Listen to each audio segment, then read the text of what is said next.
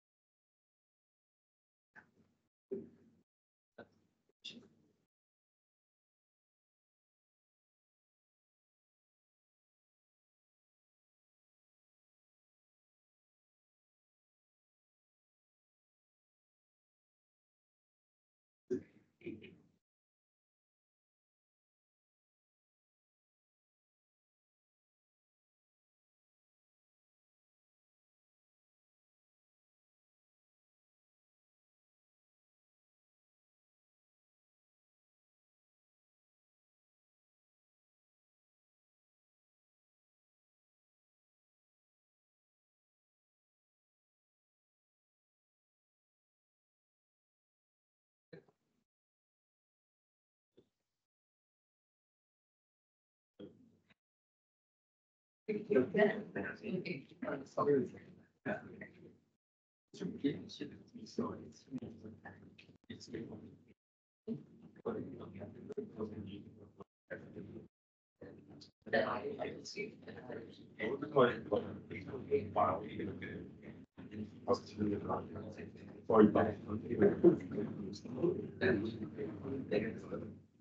tickets, it's not.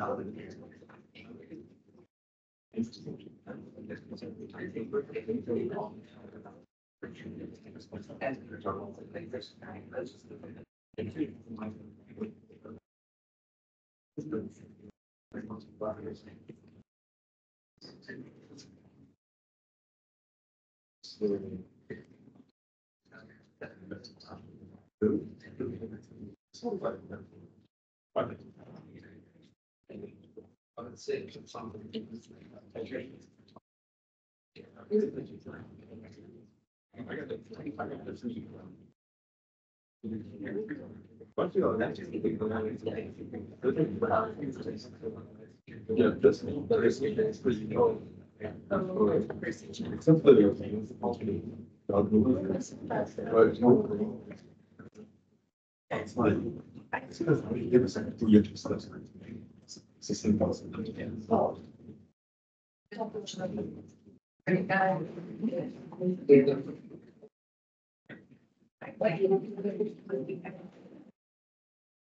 Okay, so uh, any questions before we get started? If not, uh, I want to actually make announcement that, uh, remember we say we'll have uh, another, the second extra point. So right now, I actually post all these things on the Teams. Okay, so all you do is actually go to the course evaluation. And then finish that, uh, evaluations, then you can actually, once you're done with that, it will show the complete evaluation time. So screenshot that okay, convert it into PDF file, and then upload to the Microsoft Teams. Okay, so that I will know that you actually upload, you finish that and then upload it. Then can actually use that as a vector to a, give you the uh, extra points. Okay, so this thing will be due next Friday midnight. So make sure you actually do all this evaluation early enough. Okay, so any questions for this? Okay, so if not, then uh, the things we're going to do this week is actually first, going to finish in chapter eighteen today. Uh, I say finish in chapter eighteen, it means actually finish all the content that you need to know for chapter eighteen. Okay, which was originally designed to be presented or to be taught uh, next week. Okay, but you're going to have it all today. Okay, and then we're going to go through the uh, reviews. Okay, so you should see all these review hangouts on Microsoft Teams as well. Okay, and then I would strongly suggest that, okay, so to prepare, okay, by now you should kind of see how the, um, how the course was designed, okay, to test your knowledge, right? And then we actually went through a lot of questions, okay? Based on my experience in, in the past seven years, okay, the way I teach it should be actually the, probably actually the easiest way to actually get to the, uh, answer quickly. Okay, so I strongly suggest that you go through those uh examples first. Okay, and then if you see some conflicts between my methodology to Fiverr tutor program you participate, okay, stick to mine. Okay, because I have recording over there, right? If I teach you this way and you did not get the correct answers, I should be responsible for that. Okay, and the way I say I'm going to be responsible is, okay, if you can let me see you actually following the way I teach you to do, and you cannot get the correct answer, it's my fault. You gotta point back, okay, not partial credit, full credit that. Okay, so, so we suggest that just follow the way I do, and then use that as the approach to handle your uh midterm three and the final. All right, so the main um flow of today is actually we finish the second part of chapter eighteen. Go through a few examples, then we'll actually jump to the review hangout for the midterm three. We'll actually first discuss the questions for chapter eighteen. And then we'll jump back to chapter sixteen. Okay, on Thursday, we're going to use the whole lectures talking about the questions you're going to see for chapter seventeen. Okay, so that will be actually the design for this week. Coming week, which is next week, right? So we're going to go through the things that you encounter for your midterm two and midterm one. Okay. But basically, we'll only focus on midterm two because all the things you learn from midterm one is a preparation for the midterm two. Okay, for the midterm one, we actually start to teach you what is the concentration, right? So later on in midterm two, it becomes so fundamental that everybody will actually get it. Okay, so we'll basically focus a lot more on the um midterm two, which is actually mainly the calculation of pH of the solution. Right, so we're going to go back to those equation, okay? How do we actually calculate the pH of a strong acid, strong base, weak acid, weak base, and buffer solution. Okay, so those are the things we're going to go through mainly for the next week. Okay, and then if we have time, then I guess I want to actually also give you some my personal um understanding about okay when you apply for the graduate schools, okay, what are the personality or qualities that they're actually looking for? So that you know, you guys are mainly in the first year, right? That means means actually you still have three more years to prepare yourself before you really actually head into your next stage. Okay, so things will actually also happen um next week. All right, so let's actually quick rundown about the things that's going to happen uh before the semester end. Okay, any questions? Okay, now then let's get started All right, so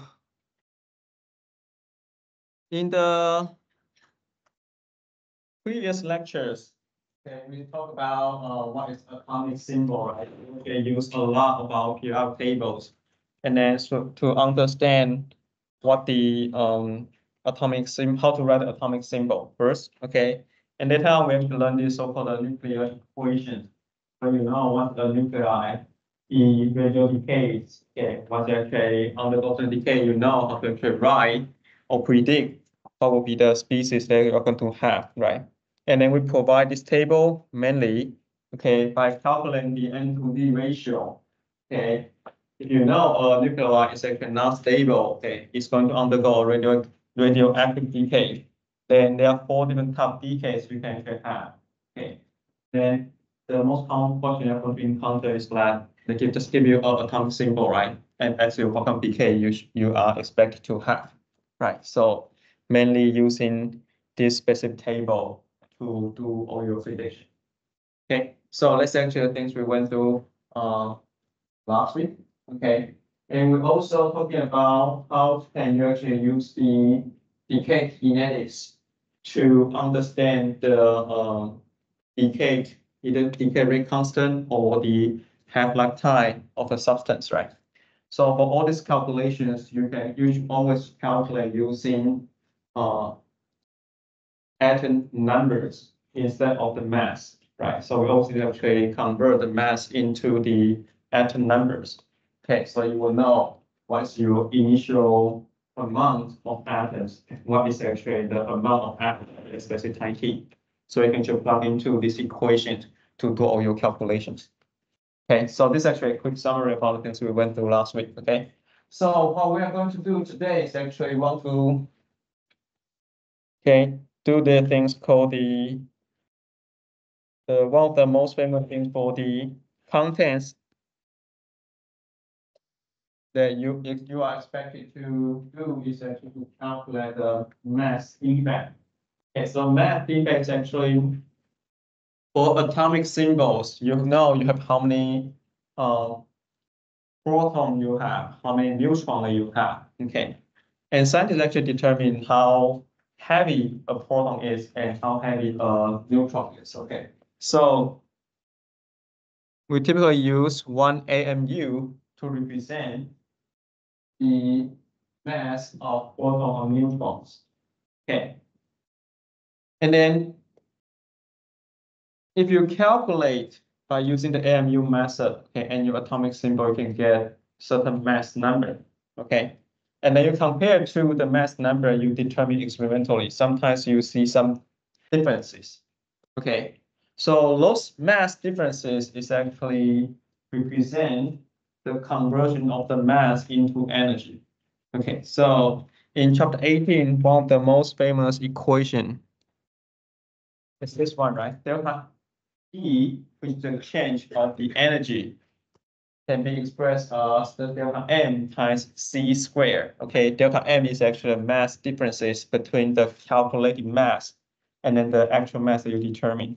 Okay, so if you calculate the differences, you multiply the square of the speed of light, they will actually give you the energies that are going to be released through this uh, radioactive decay. Okay.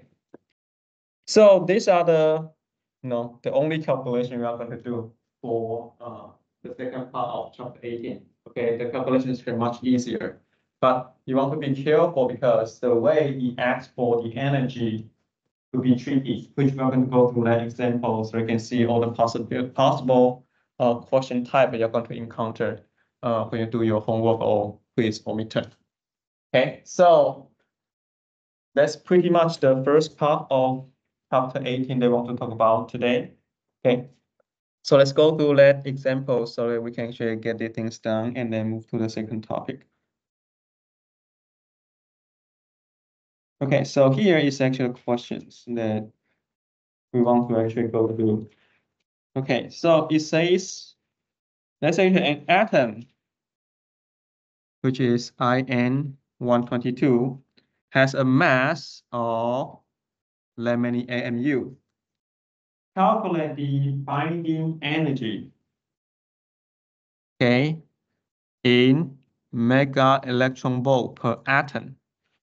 Okay, so let's actually first questions that you have. So the first question is calculate this binding energy as a unit of mega electron volt per atom. Okay. Second, mega electron volt per nucleon. Okay, per nucleon. And the third, mega electron volt per mole. Okay, so this is actually all just different units. Okay, but calculate the same thing. Okay, And then kilojoule per atom, kilojoule per nucleon, p- kilojoule per mole. Okay, so energy, if the unit of energy can either be mega electron volt or kilojoule. Okay, so it's actually energy unit. Okay, but you can calculate the energy per atom, per nucleon, or per mole. Okay, per mole means actually you have six point zero two times ten to twenty-third atoms. Okay, so those are the things that, or those are the combination that you can actually see. Okay, so the binding energy that we are talking about here, okay, is actually that delta E equals to delta M times C squared, okay? The delta E is actually so-called the binding energy. All right, so how do we calculate this? Okay. So we want to actually calculate the delta M first. Okay, delta M is actually the first quantity that you need to calculate.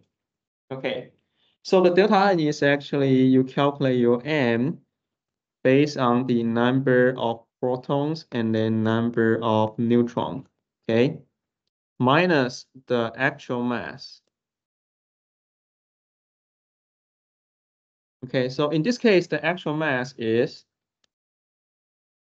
this number, right? So one twenty-one point nine one zero two eight zero AMU.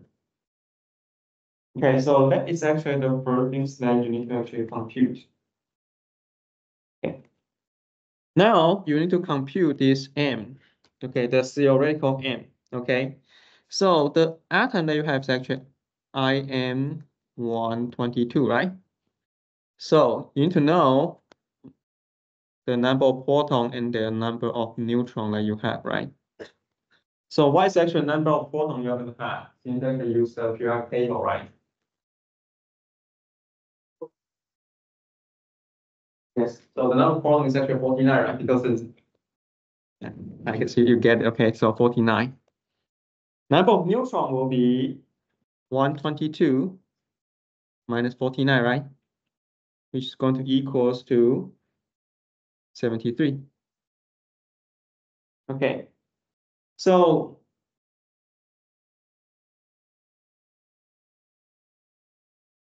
you can see there's actually a lot of constant here, right? So all these things will be provided. Okay, so let me highlight this. Okay, so all this information. Just as a tons of constant, right? So lots of things you'll be provided in your returns. Okay, so if you look at this, a series of constant, okay, the first one actually tells you the mass of a proton. Okay, so you need to know that's actually the mass of your proton, right? H1, okay, atom is actually your proton. Okay, the mass of a single proton is one point zero zero seven eight two five AMU. Okay, so right now you have forty-nine of it, right? So let you know the mass Okay, so coming from the mass of the proton, right? You have 49. And then you can multiply 1.007825. That's actually how many AMU coming from your proton, right? Okay, so similarly, you should do the same thing for your neutron, right? And here it says the mass of your neutron is going to equals to one point zero zero eight six six five. So this part is coming from your neutron. Okay, so by doing this calculation, you can actually calculate the theoretical mass to equals to one hundred twenty-three point zero one six zero. AMU. Okay, so this is actually the theoretical one, right? So you need to actually put this number back to here, right? So if you minus that, you can calculate your delta M. Okay, so once you calculate delta M, you should get a value of one point one zero five seven AMU. Okay, so any question for this? No question, right? Should be straightforward, right? Now I want to ask you a question. This value, one point one zero five seven MU. Is that per atom, per nuclear, or per mole? Everybody understand my question? Okay, is it actually per atom, per nuclear, or per mole? Hmm? Where did you get the mass? The mass is for what? For atom, right? So this is actually a very important concept. Per atom. Okay, so this is very important because if you don't know this expression per atom, you will get so confused when you're trying to answer the questions above. All right?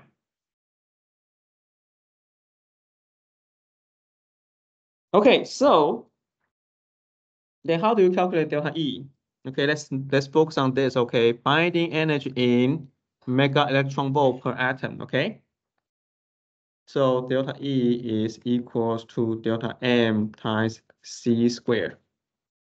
Okay. So here, I want you to actually pay attention to this conversion. Okay, it says what? It says one AMU is going to equals to one point six six times ten to the negative twenty-seven kilogram. Okay, that's actually one conversion, right? So let's actually mass to mass conversion. Okay, the other unit you can have is actually one AMU is equal to nine thirty-one point five mega electron volt per speed of light squared. Okay. Everybody see this one? Mega electron volt per speed of light square. Okay, c square. Okay, so this means, okay, if you put the things in, right? So one point one zero five seven AMU times C squared. Let's actually how you calculate your uh, delta E, right? You want to have the unit of mega electron volt. Therefore, we convert this AMU into this. Okay, so you're going to do is one point one zero five seven AMU because we know one AMU is nine hundred thirty-one point five mega electron volt per AMU.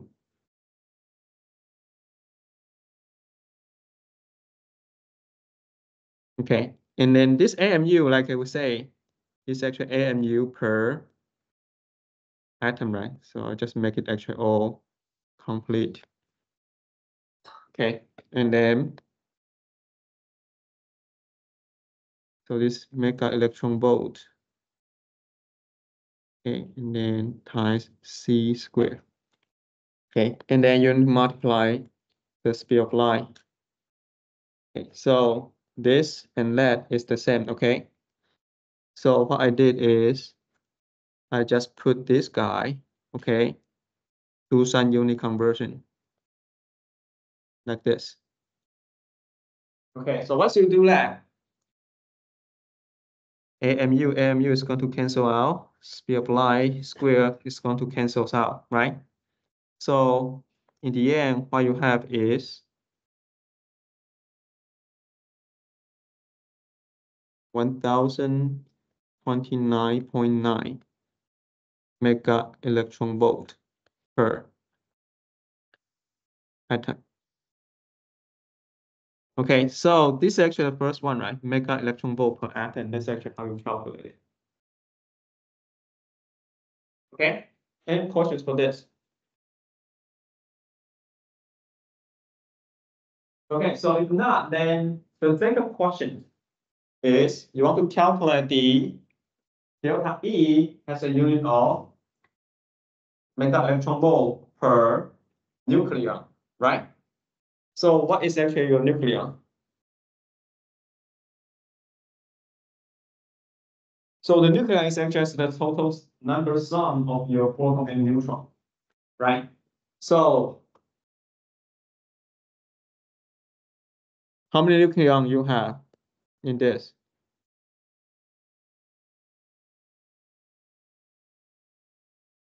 You actually have one hundred and twenty-two nucleons, right? So all you need to do is actually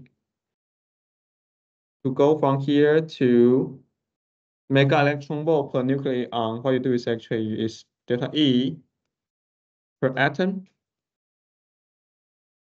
divided by one hundred and twenty-two. Okay, so this will actually become your delta E. Okay, you have mega electron volt per nucleons.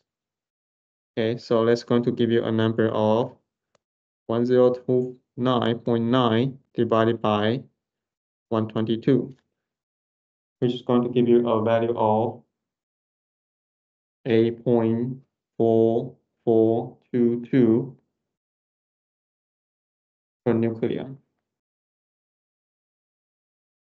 Okay, eight point four four two two mega electron volt.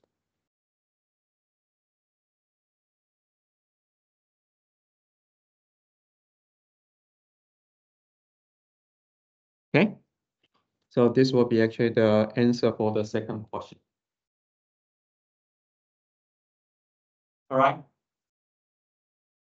About the third one? You want to know the delta E as a unit of mega electron volt per mole, right? So delta E mega electron volt per mole, right? So what you do is actually because right now, you, the energy that you have here, one point two nine point nine is a single atom, right? To convert into one mole of atoms, okay? What you will need to do is just one zero two nine point nine. Okay. Mega electron volt per atom times your Avogadro number, okay? Six point zero two times ten to the twenty-third.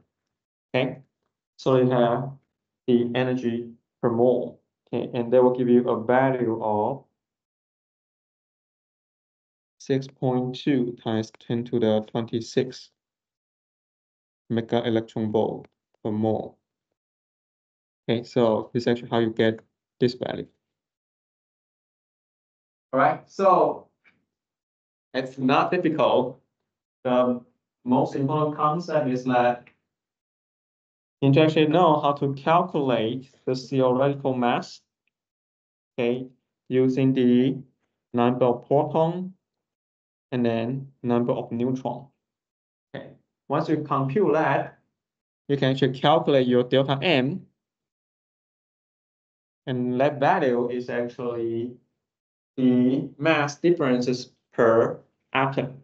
Okay, then after is just simply the unit conversion problem, right? So if you want to convert to uh, mega electron volt, you can access directly from the AMU and then use this one to convert into mega electron volt. Okay. So with that being said, you right now you should also see that, okay, so after you know one, two, three, right? The four, five, six is basically the same thing. You just actually use the kilojoules instead of mega, instead of using mega electron volt, right? So how do you actually calculate the things that have the kilojoules? Okay, you're going to use this. Okay, first convert your AMU into kilogram and then multiply the speed of light. That number will give you the unit of joule.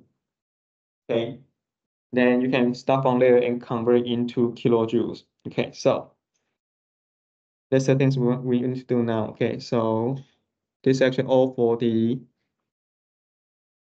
mega electron volt, right? So now we want to actually calculate in the joules. Okay, so delta E is delta M is one point one zero five seven AMU, right? And then we know one AMU is one point six six times ten to the negative twenty-seven. So once we do this, this will give you the unit of kilogram per for that AMU, right? Then you actually multiply the speed of light, which is two point nine nine seven nine two times ten to the eighth power. Okay, this to be square. Okay, so I got this value right here, right? That's actually the speed of light. Okay, so this will give you the answer, which is going to equals to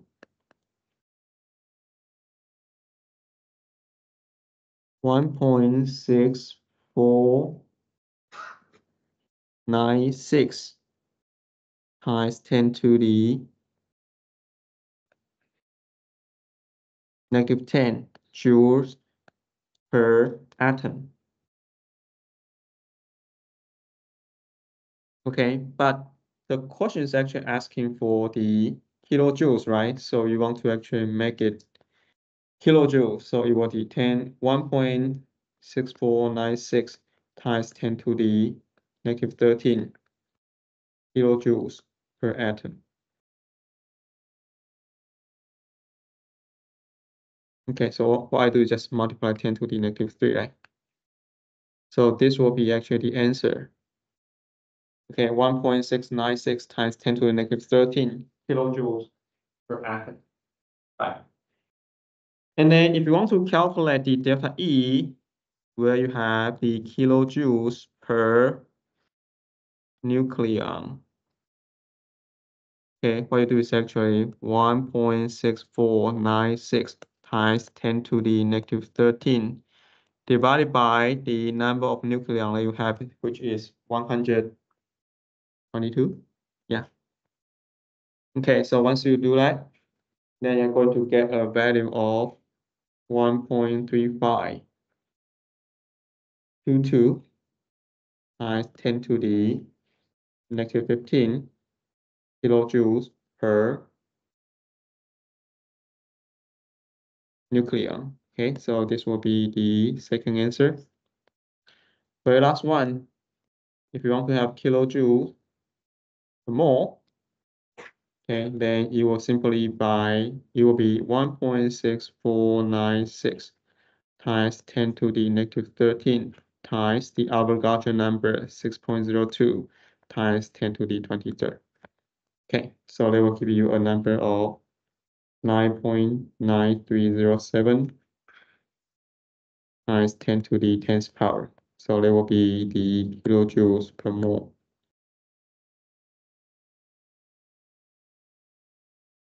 Okay, so question one is actually very simple, right? But the way it asks you, you need to be very careful. You should know exactly what is actually unit that the question is actually asking for. Okay, and that's actually the part that confuses the most. Okay, because when you calculate delta M, many of students they don't have the concept that, that delta M is actually the mass differences per atom. Okay, but if you have that concept all this, is becoming a just unit conversion type of questions. All right. So, uh, any questions for this? Okay, so you're going to see a lot of these type questions okay, when you do your homework or quiz. Okay, just be careful about the unit. Okay. Okay, so the very last important topic that we want to go through for chapter 18 is the this part is actually nothing fancy. It's just a paragraph to improve your common knowledge about the nuclear power station. Okay, so they first actually talking about this particle accelerator, accelerator. Okay, so let's actually refer things that show up in your textbook. Okay. So in order to convert a nuclei okay, from one to another, okay, using human design, okay, not the natural design, okay, if you actually force that to happen, okay, what we do is actually we create a huge big electric field to accelerate the atoms, okay, or the uh, the charged particles. Okay, the typical way we do is actually we bombard the atoms that we are interested, okay, with alpha particles, okay? So from my experience, okay, your quiz and homework will to will actually ask you to know, we're actually trying to do this process. What are what is actually the specific particle we always use? Okay, this is actually the alpha particle, okay, helium is actually the key things, okay?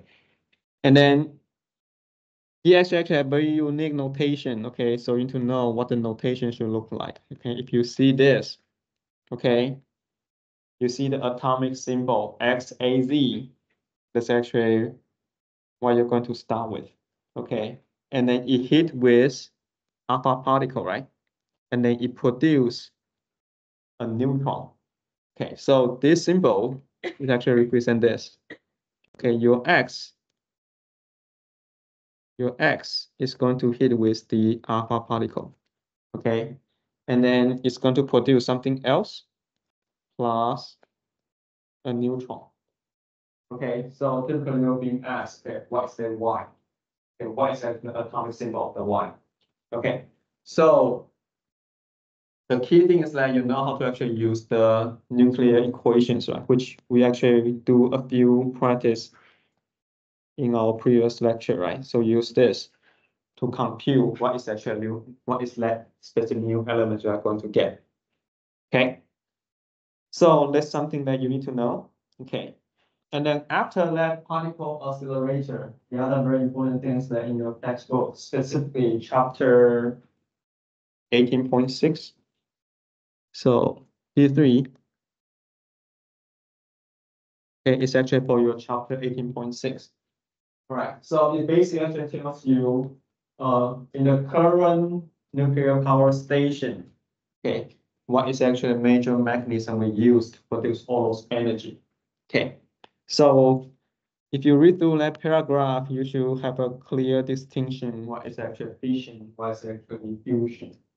Okay, so fission is actually you break one big particles into the smaller one fusion is actually you combine the smaller one into a big one. Okay. Both approach can actually produce a lot of energies that we like to actually uh, acquire and use it.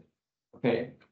But the most important things that you should know that most of the electric power station is actually using the fission, not the fusion yet. Okay, so fusion is actually something human doesn't have a good control yet. Okay. And then inside layer, okay, you should know the basic structures.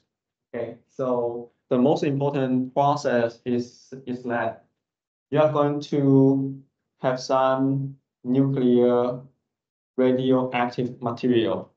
Okay, uranium 235 is actually the most famous one. Okay, so typically you hit that uranium with a neutron, make it become visible. Okay, so it will start to actually break into a small particle. During this process, it releases even more neutrons, and those neutrons will keep break apart those particles continuously. And during this process, it produces huge amount of energy. Then we can actually harvest.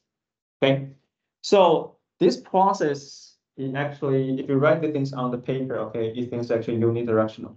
Okay, meaning once you actually get going, you will get going really, really fast right? But that's not something that you want to have because if you suddenly actually generate a lot of energies, those energy has nowhere to escape, right? So what happened to that?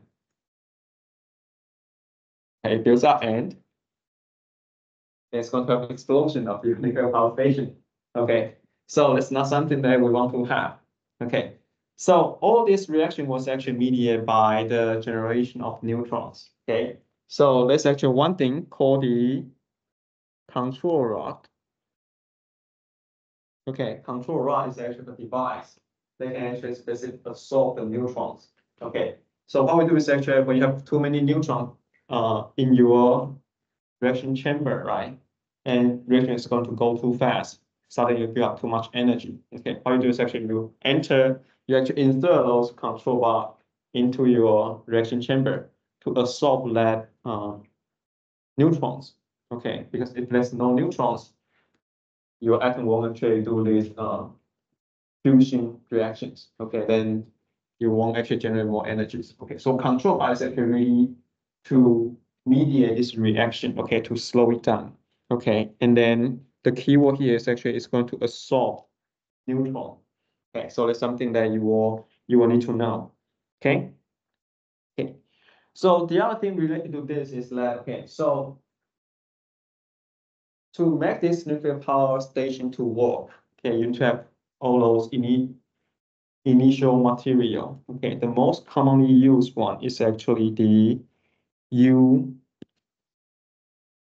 two thirty-five.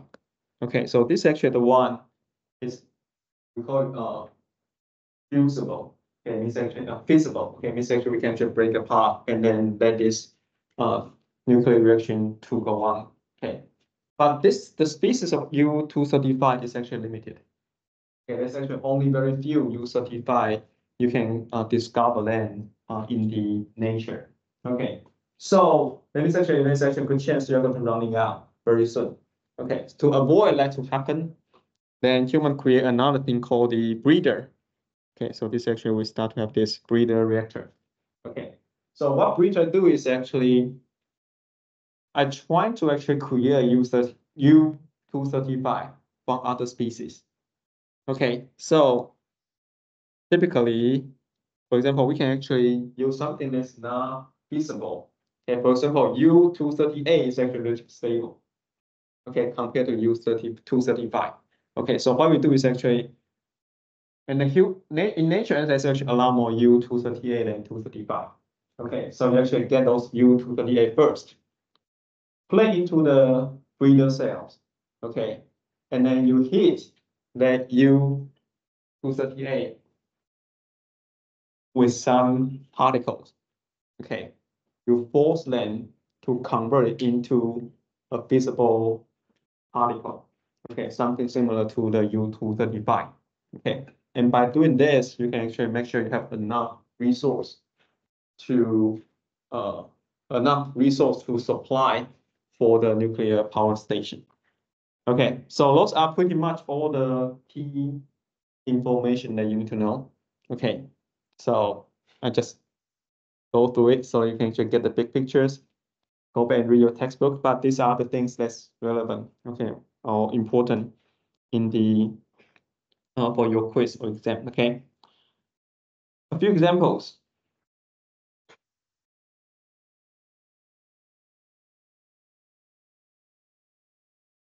Okay, so this actually is one of the questions you probably will see in your quiz. Okay, it's not giving a lot of statements.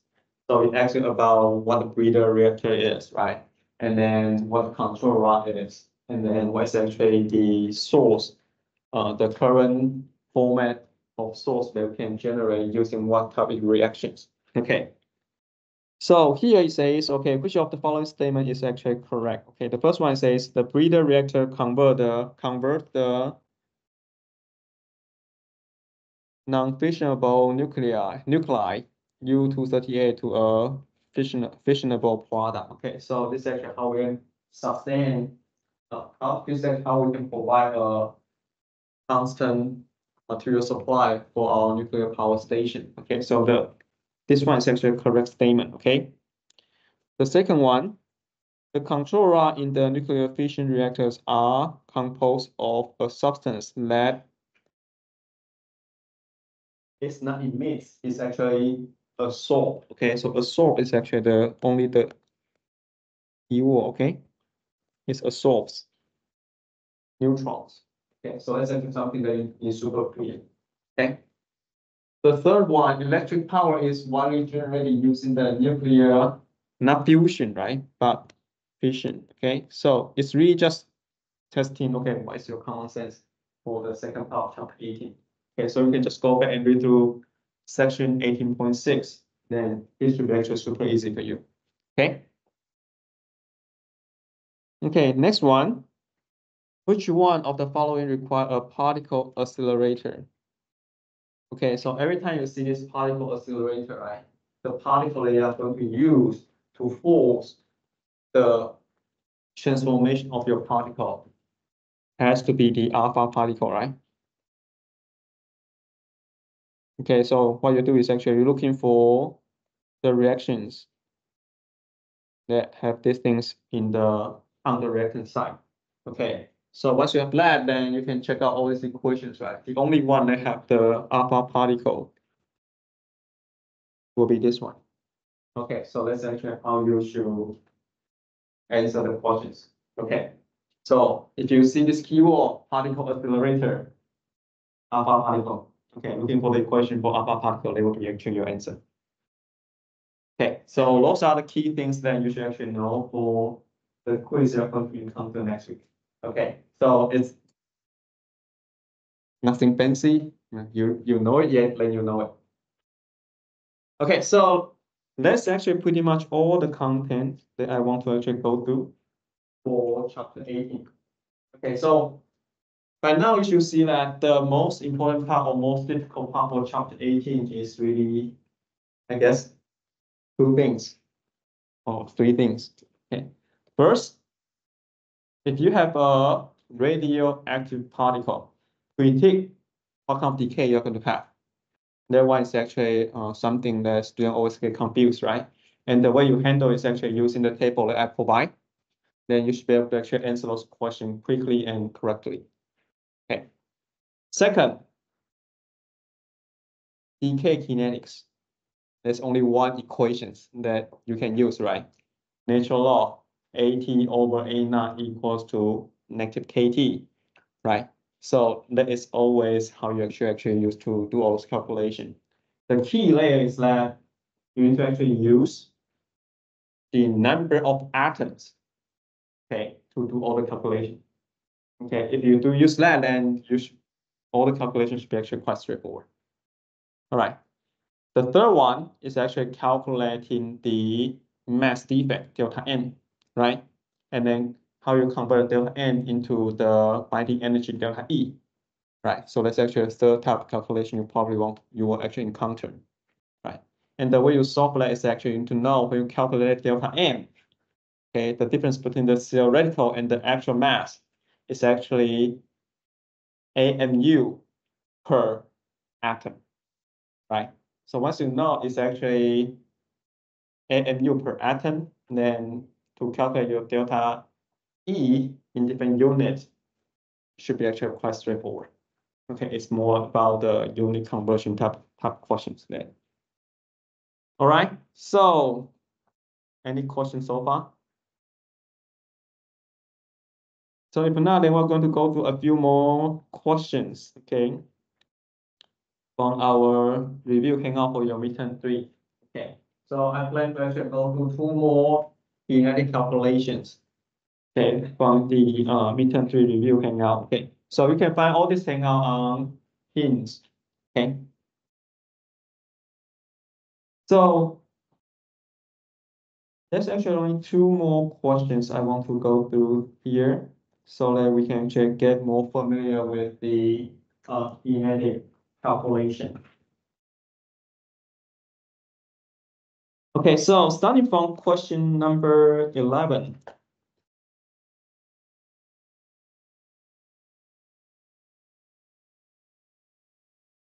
Okay, it says the half-life of a of beta decay of some atom is twenty-eight point eight years. Okay. Every time you see a sentence like that, okay, you should know that this has to be a decay kinetics part, right? Because keyword half-life is very specific. Okay, if you see this keyword half-life, then you should know that. Okay, so you should know that the equation that you should use is really this.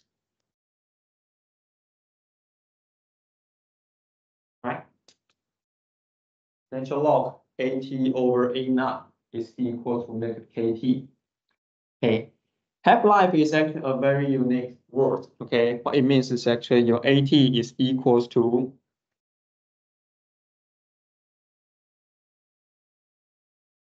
one half of your A zero, right?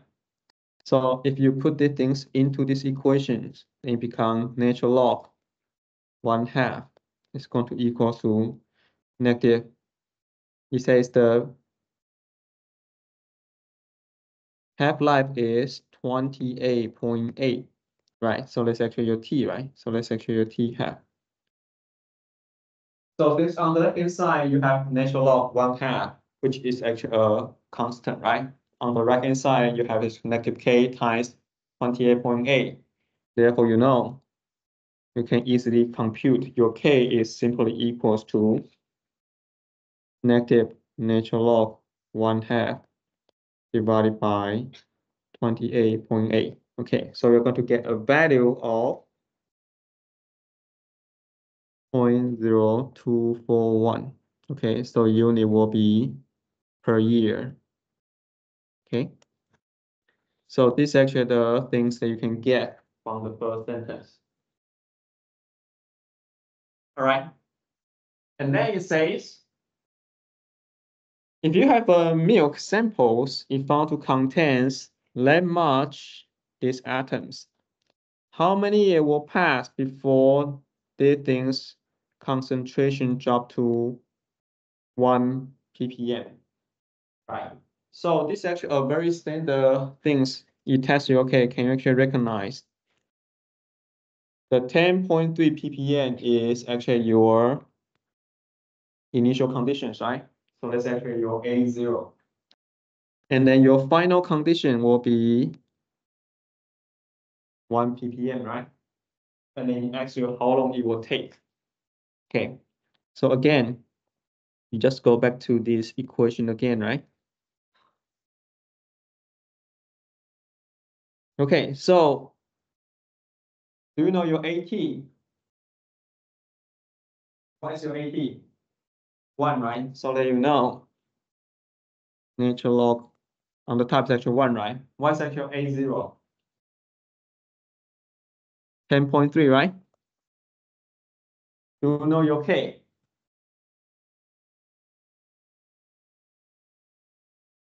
So you just compute your K, right? And then it's asking for your T. Right? So therefore your T was simply equals to natural log one over ten point three divided by 0.0241. Okay, so once you do that, you're going to get T is going to equals to 96.8 years. Okay, so that will be actually your answer. Okay, so it's really simple, right? It's always in that equation. Okay, and then every single sentence is going to provide you some clue. Okay, so in this case, the first sentence tell you, okay, what K is, right? And then it actually tells you, okay, what's your initial, what's your final? Okay, tell me how long it will happen. Okay, it can also ask you, okay, if I give you my initial, I give you after certain years, ask you calculate how many of that will be remains, right? So all of things can be tested, but it's always between these four variables, right? AT, A0, K, and T. Okay. All right, so this is actually how you solve this type of questions. Okay. Any questions? If not, then number 12. A freshly prepared sample of certain atom undergoes 3312 disintegrations per second. after six years, the activity of the sample declined to two seven five five disintegrations per second. Ask you what the half-life of the this atom. Okay, so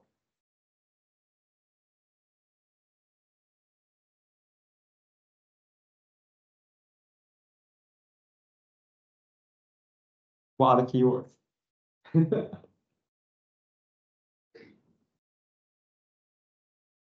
Do, do we actually ever heard or learn about the things? See, see, this actually the, I don't know, I feel like the, the, the person who designed the questions is a nerd. Always create some like terminology that's actually not so familiar with, with, no, by students.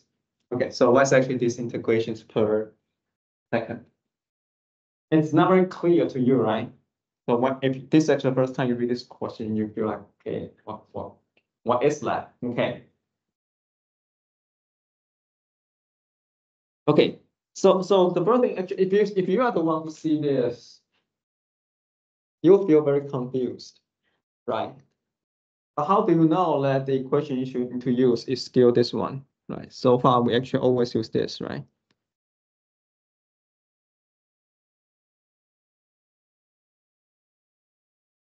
right? How do you know to use this equation? Yes, okay. I like that keyword. Every time you see that half-life, it's actually an indication then to use this equation. Okay? Everybody, everybody fine with this? Okay, make sure you actually see half-life, put down this equation. All right? Now, once you know, you need to use this equation, okay? You are going to review your questions again to figure out, okay, what are the things that it provides? Okay? So it says these atoms, original you have this, you don't know what it is, okay? But the number is actually two. Okay? After six years, it become two, seven, five, five. Okay. So now you have four variable, right? A, T, A zero, K, and T. I assume everybody has no objection that the six year represent your T, right? So this must be this guy, right? Now you start, start to say, okay, this species, this specific atoms, is start with three two five five in the beginning and become two seven five five in the end. Okay. You only have three options, right? A, T, A naught, and K. How would you actually assign those two? Hmm?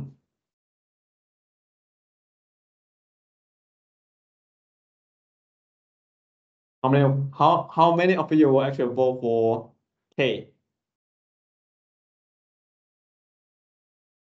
Very few, okay.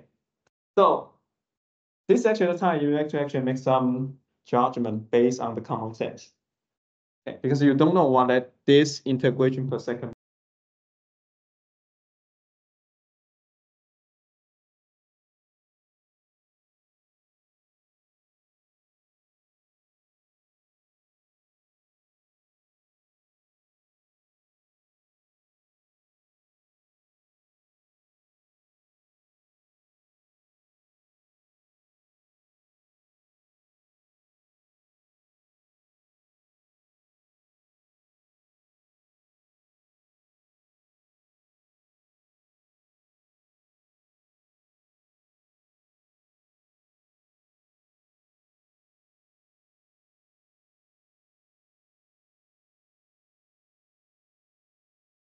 Okay, even though I don't know what this integration per second means, I would, I will guess that is actually a unit of activity. Does that make sense to you? Okay, so I will guess this actually is something related to activity, right? So in the activity, therefore I can actually use that concept to say If I have more of that, I'm gonna have high activity. Less of that, I have low activity, right? So that will actually bring me to that this guy most likely is actually my initial that is actually my activity after that many years. Okay. Does this actually make sense to everyone? Because this actually part I feel like students always get so confused. Because we never actually teach you what the disintegration per second means. Okay, so what I want to think about this is that every time we encounter those terms that you are not so familiar with, okay, consider that as the number of particles that you have.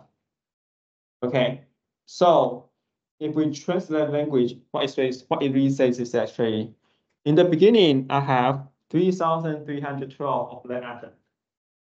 After six years, I only have two thousand seven hundred fifty-five. Okay,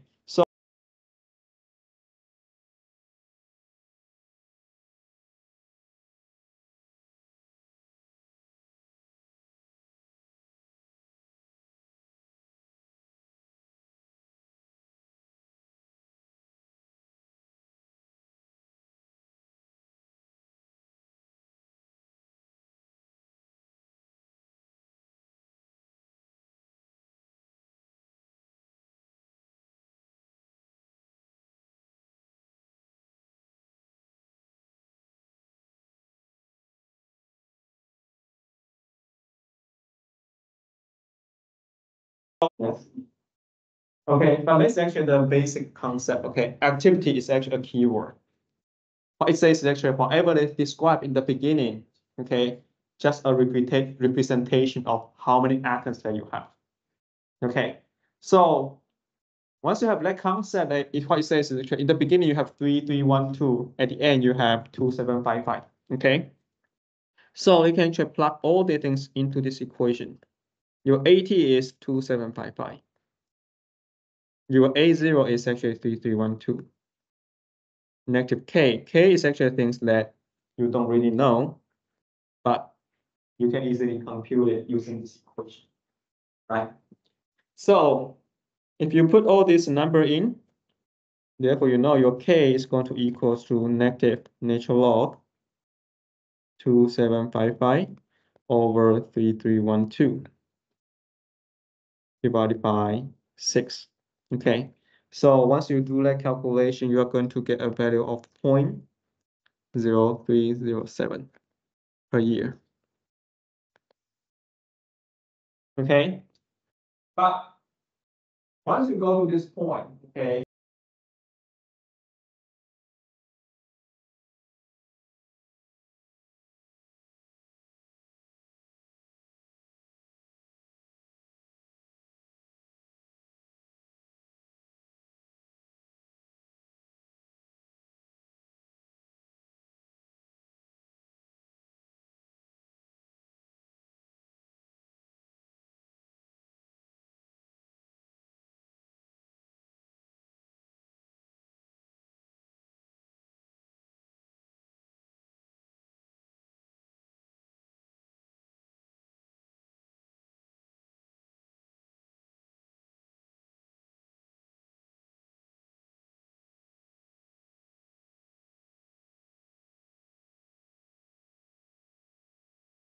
right? So you know your t half will simply equals to negative natural log one half divided by 0.0307. Okay, and once you do that, you should get a value of twenty-two point six years. Okay. So to recap this concept, okay, so when you read a questions that you see some term they are not so familiar with, okay? Ninety-nine point nine nine percent of the time is describing the activity of the substance, which can represent the number of atoms that you're going to have. Okay, so I think that's actually the most important take-home message of this specific questions. All right, and then every time you see half-life, it is actually a hint that the only equation that you need to use is natural log AT over A zero is going to equal to negative KT. Okay, so once you have all the things built up, this should be actually quite simple for, for you. All right, so I hope that is actually clear. Okay. Okay, so any questions for the things that we described uh, today for chapter 18? That's pretty much all the things I want to talk about for chapter 18. Yes. Mm-hmm.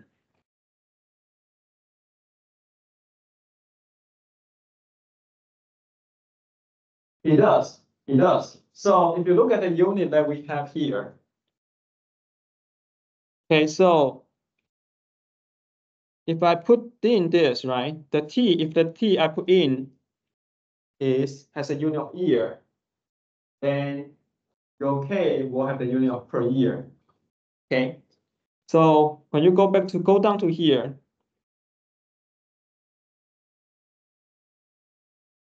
this term, natural log, natural log by itself is, what's the unit of that? There's no unit. Okay, so natural log inside is just a ratio, right?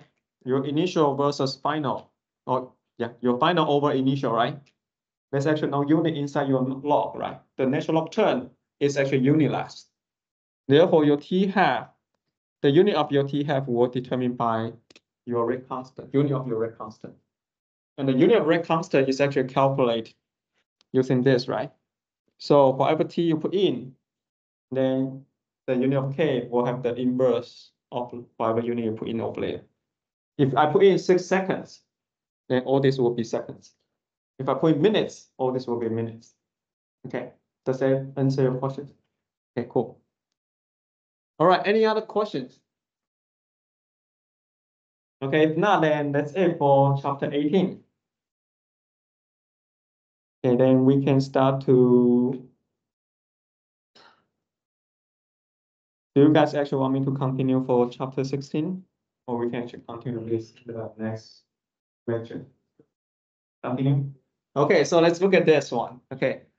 Chapter sixteen, right? So what is chapter sixteen? So What did we actually learn in chapter sixteen? Give me some keywords. Okay, and? Energy. Entropy, yes, that's actually what I'm, I'm waiting, waiting for. Entropy, right? So, um, let's, let's read through this. The figure below represent a spontaneous reaction. Okay, spontaneous always a keyword, right? So every time you see spontaneous, the things that you should have is actually your delta G is negative, right? What's the other thing that you have? Delta S universe is positive, right? Okay. All right, so those are the things that you probably actually should pop out in your mind. Okay, every time you see this keyword spontaneous, okay? Not necessarily going to, we are going to use it actually here, but that's actually something that you should actually have in mind. Okay, so it says if I mix H2 which is the shaded, okay, so this is actually H2 with O2, which is this, this is actually O2. It's going to produce gas phase H2O. Okay, this overall process is spontaneous. That means actually the energy of this process is negative. Okay. And then you want you to predict if this is actually the reaction Okay, I want you to predict the sign of delta S. Okay, it is delta S of your system, not the delta S of the universe. Okay, delta S, not delta S universe. Okay, so and then you want to predict, okay, on the at high temperature and at the low temperature, will it be spontaneous or not? Okay, so this is actually a question that tests about whether you know your delta G is equals to delta H minus T delta S. Right? So that's actually the key equations that you should always, always know. Okay. And when you say it is spontaneous, actually at a specific temperature that you know, this whole thing is actually negative, right? Now, it asks you under high or low temperatures. Okay, where your delta G become positive or negative. Okay, so that's actually design of the question. In order to answer that, you need to know, okay, going from the left to right, do we have positive or negative delta S? How do you know you're going to have positive or negative delta S? So how do you predict the delta S?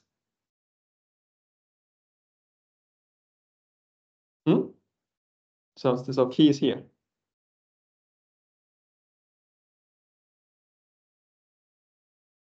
So remember, when we talk about this chapter, okay, that's actually one thing we all say, okay, if I give you an equation, predict the delta S of lead reaction is actually positive or negative, right?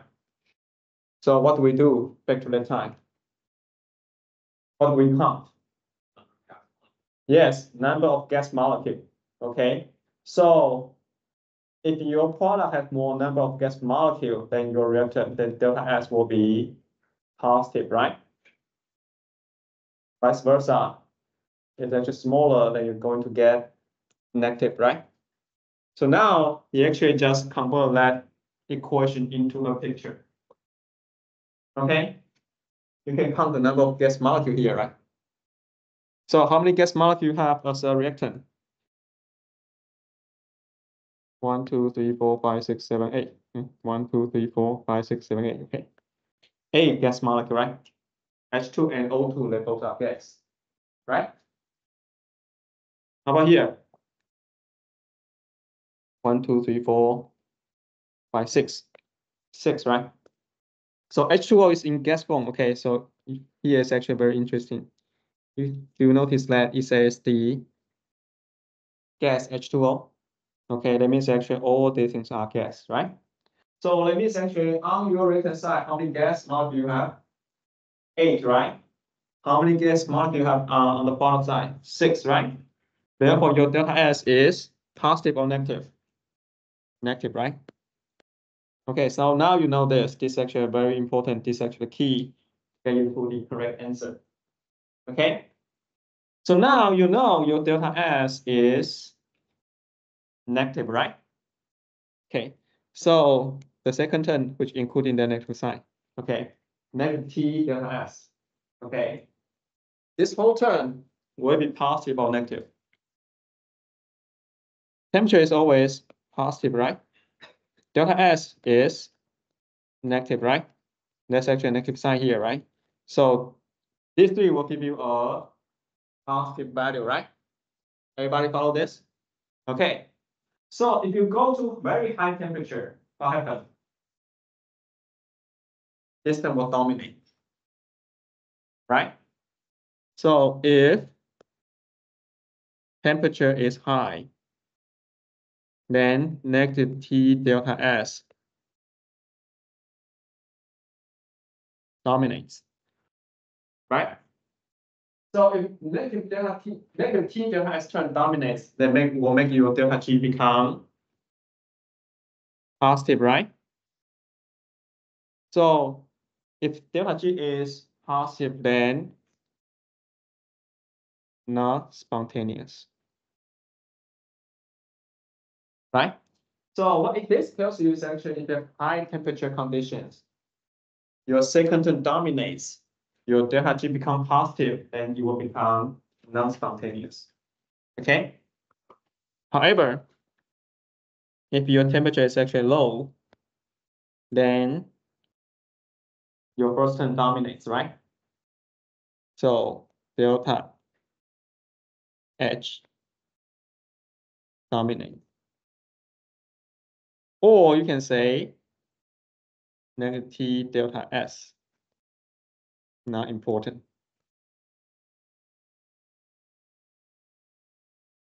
Okay, So in the questions, it already tells you, okay, for the, for the current given temperature, this is actually a spontaneous process. Okay, that means actually this overall turns, okay, is actually negative, right? So right now you make this participant even smaller because you go to even lower temperature, right? Therefore, your delta G has to be negative, okay? Therefore, it will be spontaneous. Okay, so therefore the answer is that it will become non-spontaneous at high temperature and spontaneous at low temperature. Okay, so this is actually a very standard type of question to test whether you have this concept. Delta G equals to delta H minus T delta S. Okay, that's the first concept is test, it is actually testing. Second concept is that from the figures, okay, specifically from here, can you actually see that delta S is negative? Okay, so if you can see that, you can see how the temperature is going to play a role here. Okay? Yes.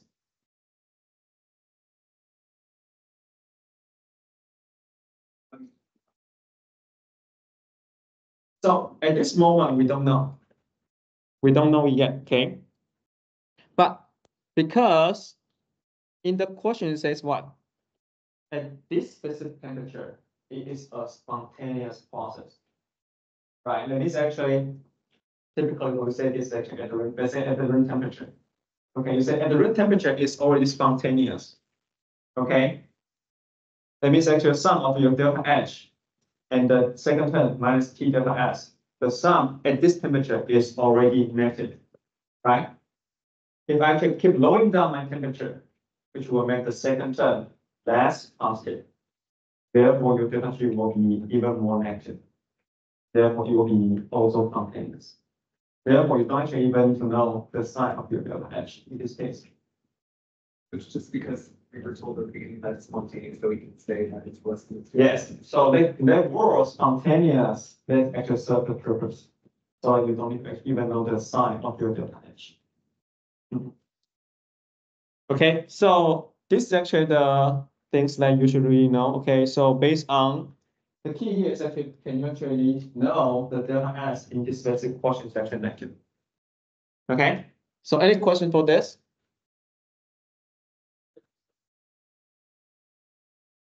Mhm. No questions? Okay, so if you don't have a question for this, I have one more question for you. Okay, so if today I flip this, okay, meaning my reactant has six molecules, my product have eight gas molecule. Okay. How will I actually change your answer? It will always be spontaneous, right? Because right now the second thing is also negative. Right? So, so it's really depending on the sign. The sign actually matters a lot, okay? So you need to be hundred percent sure that you know how to know the sign of your delta S, okay? then in combined with this simple concept delta G equals delta H minus T delta S, then you can actually select out the correct answers presented in your question, in your questions. All right, so I hope that actually make things very clear. Okay, so if there's no more questions, I think we're also running out of time. And we'll stop here. We'll continue this discussion on Thursday. Thank you.